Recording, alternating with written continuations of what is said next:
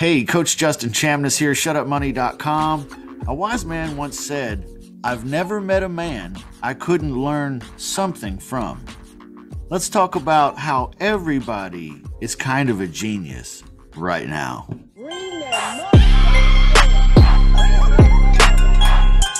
The fact is that everyone you meet in this life, there is something they know that you don't know.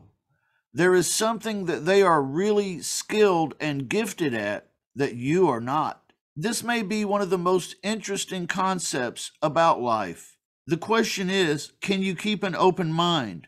When you meet someone new, can you put aside certain prejudices and can you really listen and accept that this person is speaking from a position different from yours and that they also know things that you may not know. They may have experiences and understandings that you may not have. Now, when you think about this, don't point your finger at other people, point your finger at yourself. This is your responsibility.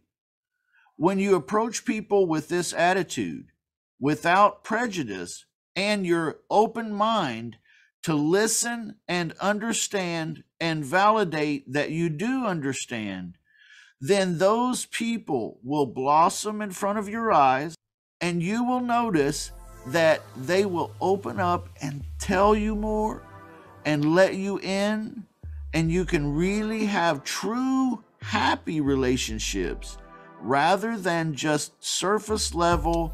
I like you as long as you make me feel good, but then as soon as that ends, I'm going away.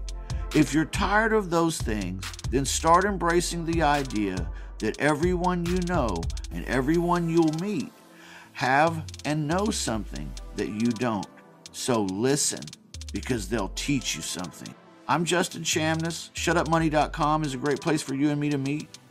And uh, I like you. And I'll see you here again tomorrow. Bye bye.